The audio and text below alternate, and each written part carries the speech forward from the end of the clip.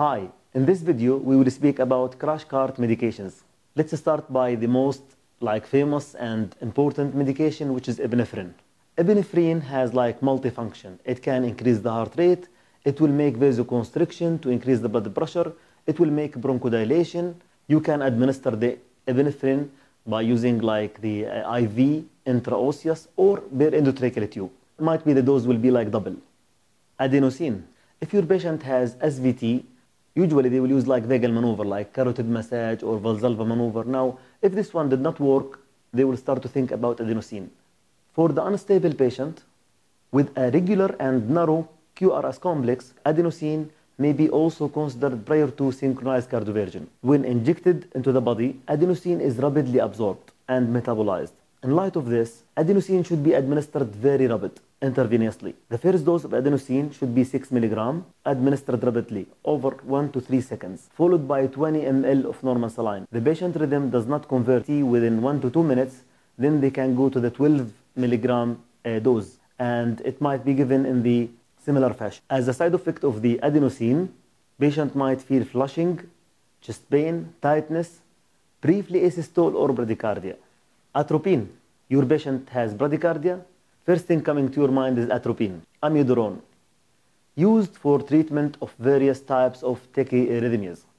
For cardiac arrest, amiodarone is used after the third shock for ventricular fibrillation and ventricular tachycardia that unresponsive to shock. If your patient has VFib, ventricular uh, fibrillation or ventricular tachycardia without pulse during the CPR, the first dose uh, based on the AHA is 300 milligram. The second dose will be 150. For other tachyarrhythmias, the dose will be 150 milligram and you will give it over 10 minutes. Magnesium sulfate, which is used commonly to treat Torsades, de pointes, ventricular tachycardia. Lidocaine. Although lidocaine was removed from the cardiac arrest algorithm diagram, it is still considered as a suitable alternative if amiodarone is ineffective or unavailable in the cardiac arrest from VTach or VFib.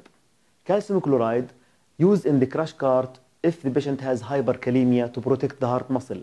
It can also used in the hypocalcemia and also can use to the hypermagnesemia. Sodium bicarb giving to the metabolic acidosis patient. Dopamine is to treat the hypotension and for the bradycardia as well. Dextrose 50%. Actually, it's indicated if the uh, patient has hyperkalemia and you need to give uh, insulin, you will give the 10 unit insulin in the 50, mixed in the 50 ml of dextrose 50%.